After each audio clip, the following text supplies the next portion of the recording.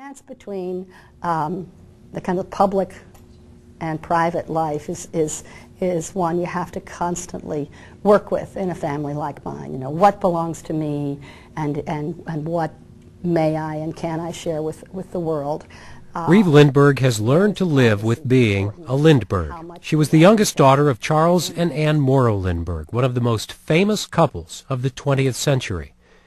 Reeve Lindbergh, who lives in Vermont, came to St. Louis in early 2005 as the guest of the Lindbergh School District, named, of course, for her father. We'll talk to her about being who she wants to be and who she has to be because of something her father did years before she was born. And it changed so many things some in ways he never imagined, and some in ways he never wanted. People have asked me, do you think he would have done it knowing what would, would have come after? Hard to tell.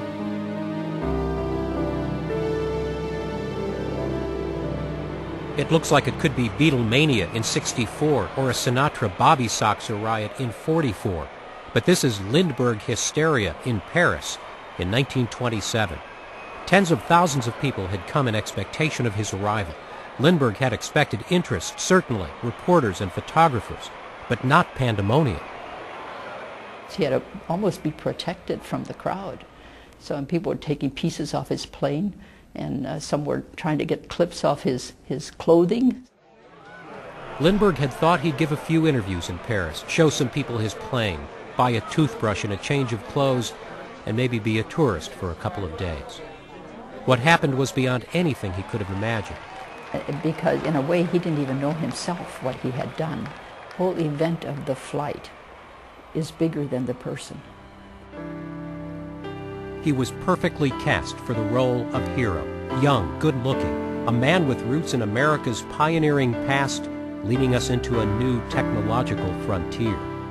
He would continue to be one of the most important figures in early aviation, but his life would be tumultuous, tragic, and controversial. The kidnapping and murder of his first child, hounding by the press, the self-imposed exile, and his friendly visits to pre-war Germany and isolationist politics that would tarnish the all-American hero image. But in 1927, he was, at this moment in history, the right man at the right time. He was not quite the simple Minnesota farm boy he was made out to be. His mother was a chemistry teacher, his father a lawyer and U.S. congressman, and Lindbergh had spent time in Washington, D.C. and Detroit as well as the family farm. He had dropped out of engineering school to fly and became a barnstormer, which was about all a pilot could do. Fly around to cities and towns putting on air shows, making parachute jumps, walking out on the wings in mid-flight. Then you'd make money selling rides and giving lessons. Like a lot of aviators in the Midwest, Lindbergh eventually made his way to St. Louis. He came to see the big air races here in 1923 and hooked up with the barnstorming troupe that flew around the Midwest. When the government began awarding contracts to private companies to carry the mail, Lindbergh was hired by St. Louis's Robertson Aircraft Company as its chief pilot on the St. Louis to Chicago route. He flew out of Lambert Field, just a grassy area back then, and lived in rented rooms nearby. There was at the flying field something of a boys' club, locker room atmosphere, and Lindbergh had a reputation as a practical joker. Fellow pilot remembered him putting kerosene in a bucket of drinking water, another time running an electrical wire to a metal bench. When they're all sitting there comfortably while he cranked the booster, and they jump with a shock of course, they chased him around too because he did that. But he was a lot of fun in that respect. But Lindbergh also had a reputation as a good, sharp pilot. And it was during his many hours flying the airmail route, somewhere around Peoria, he said, that he first thought about trying to win the Orteig Prize, $25,000 offered for the first nonstop flight between New York and Paris.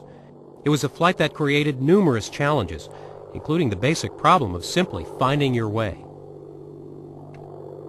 Lindbergh had no experience in air navigation other than what he had gained on the airmail routes. But over water, he was going to be faced with an entirely different type of navigation, uh, again known as dead reckoning, where he would fly time, to evaluate, and speed to evaluate distance, and he would use a very rudimentary magnetic compass in order to tell direction. But Lindbergh convinced a few key downtown businessmen that he could do this, and they invested the money to buy the plane, gambled really on something that could be a huge boost to aviation and to St. Louis, if he could do it, and if he could do it first. He was able to get the Spirit of St. Louis built by the small Ryan Aircraft Company in San Diego when bigger companies shied away from putting their good names into the hands of an unknown Midwestern airmail pilot. Lindbergh flew the brand new plane to St. Louis on his way to New York to show it to his backers. There he is with banker and Chamber of Commerce President Harold Bixby. He had spearheaded the fundraising and suggested the name for the plane. Another backer is Albert Bond Lambert. This was his airport. As important as their money was, was their decision to trust Lindbergh and his plan for a solo flight with a single-engine plane, which seemed to go against all common sense.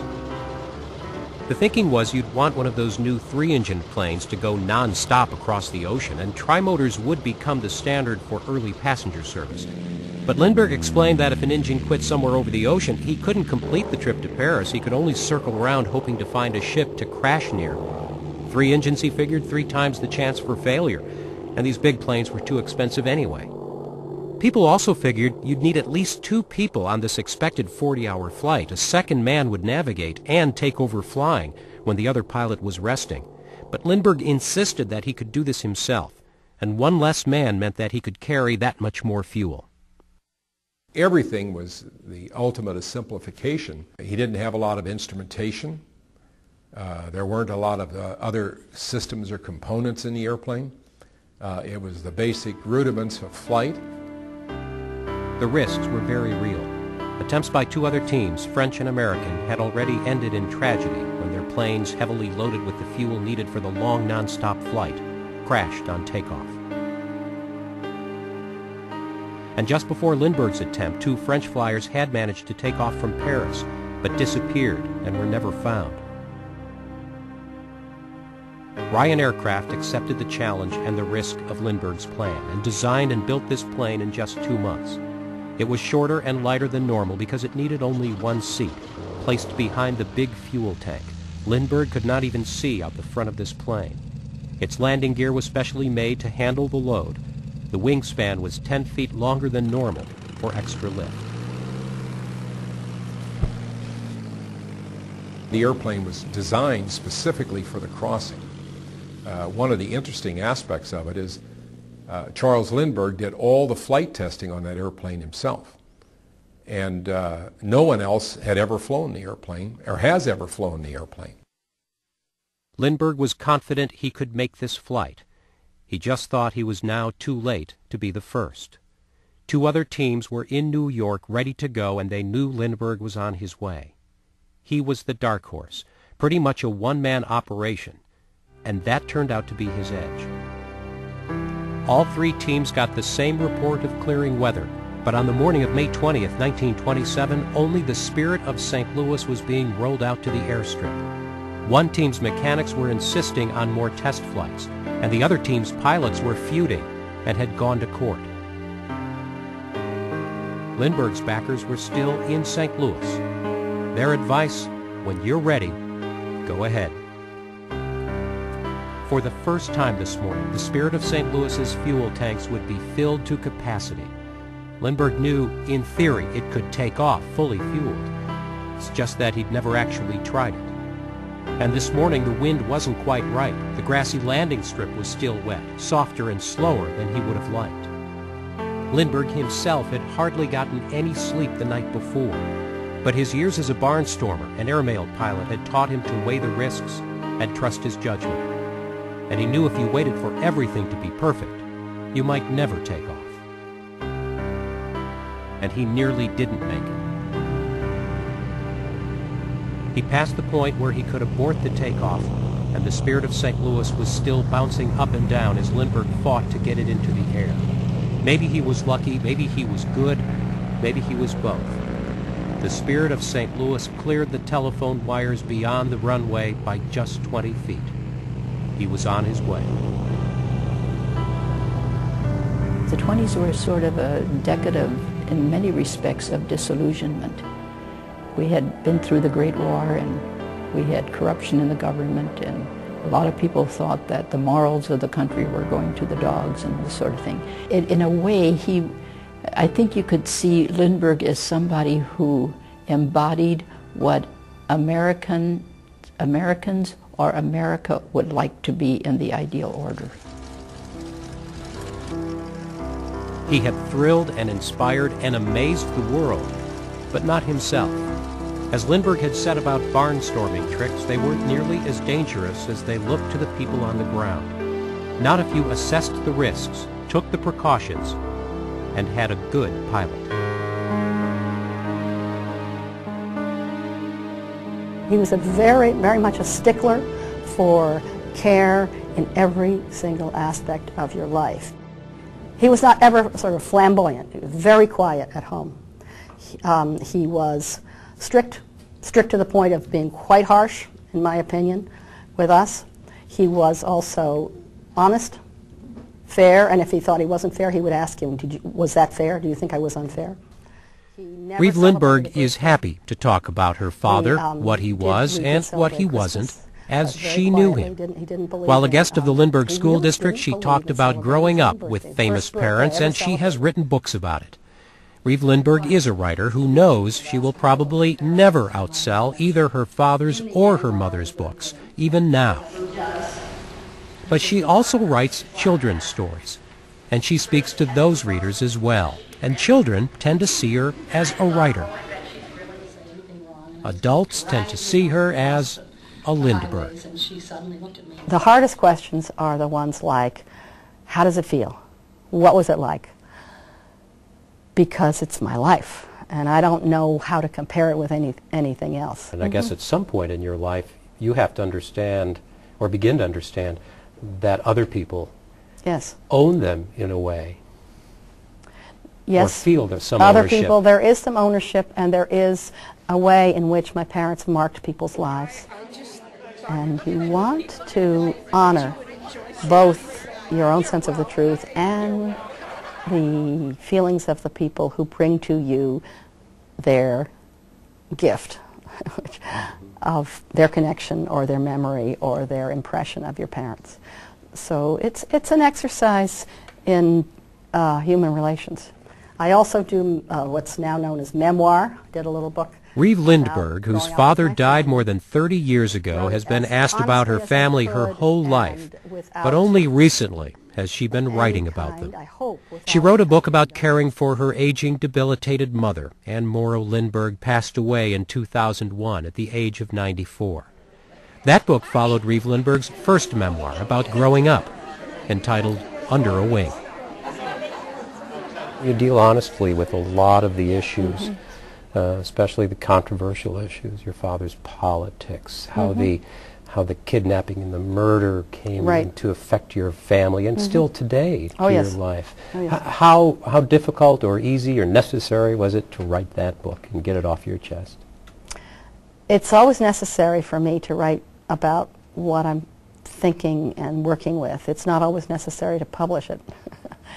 At that time, I was uh, I was actually start, I started that book writing about my sister, who had just died, and I found that as I was writing about her, I wrote my way into our childhood and all the issues that I knew and thought about around our family. I can't tell you whether I had to write the book, but as I started, I knew I had to be honest as, as much as I could be. And the, it came out as that particular book. It could have come out as another book, but it was probably pretty important to me to, to work with that material. I probably could not spend my life as a writer without working with that material. I'll probably always do it. You know, it was interesting to be reading that and see what, what you personally would deal with, what they obviously had to deal with. And then you think everything is all settled and you're writing children's books and you're, you're, you're doing well, and then Philip Roth comes out with a book Oh, that's right, yes. and, and puts your father in a, as, a, as a counterfactual, what if he became president? And mm-hmm, mm-hmm. it's sort of like, do you just kind of roll your eyes and think, Here we go funny. again. No, I mean for that particular book, I didn't. It it's bothered other people more. I mean, I haven't read it, but I have read others of his books. But my father is an is an iconographic figure, and sure, people are going to use him one way or another. Roth is a big writer, an important American writer, so it becomes more of a big deal. I mean, that, somebody writing a book where my father becomes president and turns the country to the right, and uh, the implication is that this this was a I don't know what how they have him, you know, anti-Semitic, Nazi, etc. That's something I've heard before. As you now look ahead, say to the next 50 years or the next 100 years, where do you think, uh, how will they survive, uh, both as, as your mother as a writer, I would think, and your father as, well, I can only say Charles Lindbergh, because there really isn't anyone, you know, I can compare him to. Does this, do these, both of these stories continue on? I suspect that they will. I suspect that they will, and I think it's because there's something in those stories that uh, people adhere to. There's something about the story uh, of the two of them, about his his role in that incredible burgeoning of aviation, whatever else he was or, or did, will be part of it. But I think mostly what we're going to see over time, I think, is the aviator.